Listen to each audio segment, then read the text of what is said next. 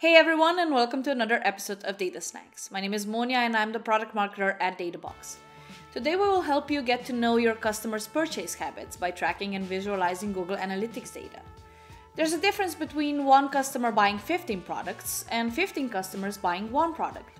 The unique purchase metric helps you discover that difference.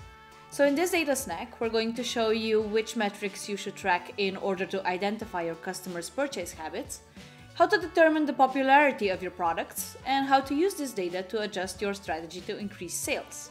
Let's get into it.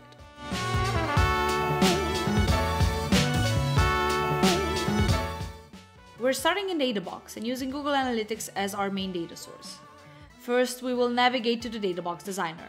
And adding metrics is easy to do. Simply choose the data source from the metrics library here on the left and drag and drop some of the available pre-built metrics. In this case, we will visualize unique purchases, transactions, average dwell time, and average order value. By tracking these four numbers, we can find out how products are being sold, individually or in bulk, and compare that to the number of transactions, how much time they spend on our product pages, as well as the average values of your transactions. This provides us with insights into our customers' purchase habits and helps us improve our offer and service. So let's choose the visualizations for our metrics. For unique purchases and transactions, we're going with a table so that we can compare the numbers more easily later on. For average dwell time, a custom metric that you can build in Databox, we'll choose a bar chart. And for average order value, we will go with a number visualization.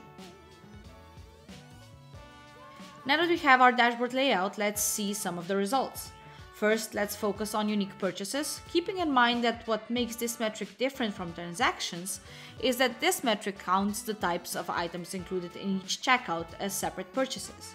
So for example, you can have three unique purchases within one transaction. Comparing the two metrics can show us a buying pattern, like our buyers typically purchase three items per transactions, thus helping us understand our customers' buying preferences. You can also calculate the average number of unique purchases per transactions, or have our team create a custom metric for you offering that calculation. Now, the data we see helps us get a better idea of what our customers buy and how we can improve their experience. For example, if your customer buys product A in bulk rather than make a single unique purchase, rewarding them with a volume discount might stimulate even more purchases in the future. When it comes to average value, keep in mind that this metric does not show the number of products sold, only the price of products sold. What makes it important is that average value can help determine the price of products most sold on your site. That can help you adjust your offer if desired. It's important to compare this metric with transactions metrics since if you have a high average value, you can still see a decrease in overall revenue if the number of transactions is low. A possible takeaway might be that you stand to earn more with a medium range average value combined with a high transactions number.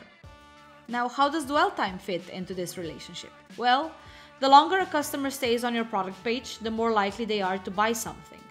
According to SEMrush, you should be aiming for 2 to 4 minutes to secure a purchase decision. If your dwell time is substantially less than that, you might want to take steps to improve your page and product presentation. That's it for today. Smart marketers try to figure out their customers' buying habits and monetize their findings. By tracking the right metrics and drilling deep into the numbers, you can gain insights that can significantly improve your sales. Understanding sales patterns, which visitors are most likely to buy, in which amount, and at what price can help tailor your strategy and increase your ROI significantly. If you need help tracking and visualizing your customers' purchase habits, our support team can actually help build your first dashboard for free. Just create your free Databox account and reach out to our team either via chat or email. See you next time!